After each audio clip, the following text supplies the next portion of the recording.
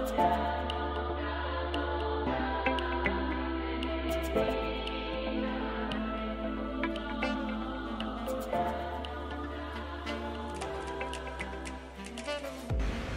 Sobat Sinar, selamat datang di video pertama kami. Perkenalkan, saya Mulyadi dari Sinar Foto. Dan di video pertama ini kita kedatangan seorang tamu istimewa, yaitu seorang Sony Alpha Guru, Bro Anton. Bro Anton, ya, apa kabar bro? Apa kabar? Kami pertama ini. Iya, thank Wah, you. kesempatan yang istimewa. Wah, Bro Anton, kami kan dengar nih, Bro Anton adalah seorang eh, fotografer arsitek. Ya, Kenapa kok milih arsitektur? jadi gini, uh, Bro. Jadi saya ini uh, dulu lulusannya interior design. Oh, oke. Hobinya foto. Oh, nah, terus gimana caranya supaya kerja itu bisa sambil hobi juga jalan gitu. Kalau upgrade lensa itu beli terus itu langsung auto approve.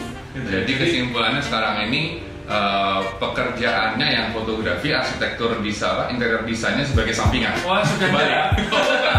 Oke. Jadi dulu saya itu uh, lama di 3D rendering arsitektur. Oke. jadi gambar-gambar komputer gitu. Nah dari situ itu kan juga mengatur cahaya, mengatur material seperti itu. Nah makanya saya pikir saya ingin jadi fotografer nih karena hobinya foto. Asik. Nah tapi kalau saya jadi fotografer wedding kayak mulai dari nol, Asik. seperti mulai dari nol gitu. Makanya saya memutuskan untuk jadi fotografer arsitektur. Tapi berarti memang passionnya itu di arsitektur ya, Iya. desain ya. Iya. Wah, itu oke banget itu. Baik. Nah, Bro Anton, Iya. saya dengar nih Bro Anton mencoba memperkenalkan sesuatu yang baru. Ya, Oh, wah, iya. saya lihat foto-fotonya kemarin tuh keren-keren banget. Iya. Dan itu disebut sebagai kasual arsitektur fotografi. Iya. Nah, boleh diceritain apa itu kasual arsitektur fotografi? Iya, jadi gini Bro, Bro Mul. jadi sebenarnya itu casual arsitektur fotografi itu kalau itu adalah istilah saya sendiri. Jadi Oke. gimana kita Jadi penemunya nih kita ini. Ya, saya berani ngomong gitu. Cuma intinya foto arsitektur santai. Oh, gitu hobis fotografi bisa menikmati. Asik. Nah, itu bermula dari ketika saya travel beberapa lama di apa? Ketika saya travel beberapa lama di Eropa, Asik. saya memotret detail-detail arsitektur kok menarik sekali gitu.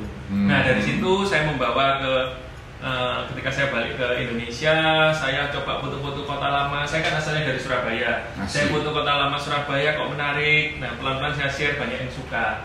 Nah, di situlah saya beberapa kali juga ngadain workshop untuk itu.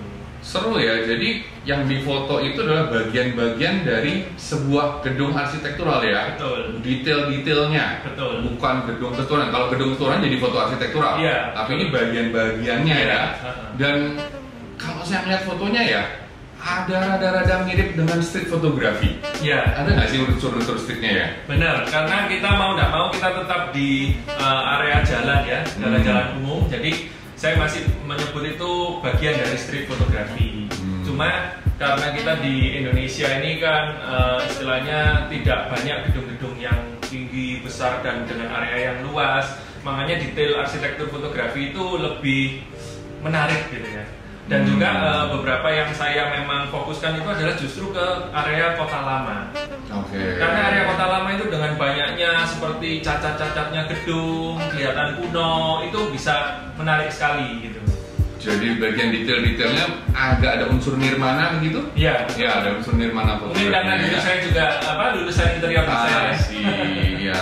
Terus kalau foto-foto itu boleh nggak ditambahkan objek? Misalnya ada orangnya Hmm. gitu atau ada burungnya gitu Iya. boleh nggak? Sebenarnya itu tidak masalah, cuma memang untuk eh, konsep saya adalah eh, manusia maupun objek makhluk hidup itu bukan sebagai unsur yang utama. Masih. tapi sebagai unsur pelengkap. Asik. Nah, kalau fotografer model itu modelnya manusianya yang utama, kalau ini dibalik, arsitekturnya Oke. yang utama. Gitu. Wah, mantap, mantap, mantap, mantap. Iya. Nah, kalau buat foto seperti ini ya, yang casual arsitektur fotografi ini, gearnya apa aja yang dipakai nih? Nah. ada lensa khusus kah? Harus pakai Iya. kamera resolusi tinggi kah? Iya. Gimana?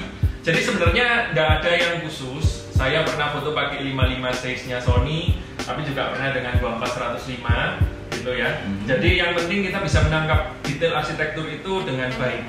Kita Lensa bisa standar bisa nggak? Bisa. 870 bisa bisa kita, ya. kita tidak perlu bokeh Oke. saya kalau foto karena kita outdoor jadi fotonya itu di f8 f11 justru Jadi buat teman-teman nggak harus invest yang mahal, Betul. bisa ya. Iya, yang penting happy memotret. Asik, asik, asik, asik.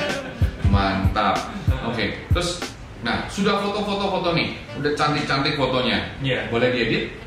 Boleh, Boleh banget ya, tidak masalah. Tidak Eh, masalah diedit. Tapi eh, tentunya ngeditnya tidak perlu sampai berlebihan. Yang penting itu kalau tips saya tunggulah eh, sinar yang tepat. Jadi Lighting ya. cuacanya harus pas. Kita kan nggak mungkin pakai eh, lighting karena itu bangunan besar ya lighting Iya. buatan maksudnya. Tapi kita bisa dengan cara survei dulu ke lokasi cahaya terbaiknya kapan, baru kita memotret. Mantap. Terus kalau saya lihat ya, foto ini sebenarnya akan sangat indah kalau dicetak terus dipajang sebagai dekorasi-dekorasi. gitu. Benar nggak sih? Nah, betul sekali. Jadi eh, beberapa foto saya juga saya berhasil jual ke beberapa Oh, wow. interior designer. Sudah berhasil jual. Iya. Mantap. Nah, Hmm. Jadi saya jual ke beberapa interior designer sebagai pajangan untuk eh, wall wall decor. Asik. Iya. Ya, sebagai foto dekorasi ya. Betul, iya. Weh, mantap, mantap, mantap, mantap. Baik, kira-kira penonton, ada Ya. pesan nggak buat teman-teman Sobat Sinar ini Hmm. eh, casual arsitek fotografi supaya lebih banyak dikenal? Iya. Jadi sobat sinar, eh, apalagi sinar foto yang di Bali ini kan Bali itu benar-benar indah ya. Asik. Banyak Betul, sekali detail-detail kebudayaan yang bisa digali. Jadi ini merupakan salah satu kesempatan untuk kita bisa mengeksplor dengan hal yang berbeda di tempat yang sama. Oh, Nah, oke. jadi eh, pastikan teman-teman yang penting itu lihat cuaca yang tepat, terus melatih mata kita untuk melihat detail-detail yang istilahnya tersembunyi. Asik. Tidak perlu tempat yang jauh-jauh, cukup di area kota lama atau di area-area yang istilahnya eh, banyak cahaya matahari yang menarik itu sudah bisa. Oke, Bro Anton. Terima kasih banyak nih sharingnya hari ini ya. Sama-sama. Terima kasih sekali sudah datang ke studionya Sinar Foto Ya. ya. Baik Sobat Sinar, inilah video pertama kita. Nantikan video kita berikutnya yang akan pastinya akan lebih menarik lagi. Terima kasih, sampai jumpa.